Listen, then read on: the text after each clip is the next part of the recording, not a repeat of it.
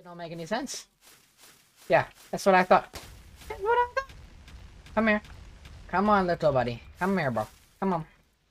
But those bees have probably done so much work in the last five minutes. The last ten minutes, correction. My bad. I kind of wanted him to sit in that window so I could uh, start beating the crap out of him, but I guess that's not how it's about to go. Hey, let's go with me! Yes! Let's go! Slay him. Let's freaking go, bro. 4k XP, that's what I'm talking about. Let's go. Well, that was actually a pretty good win.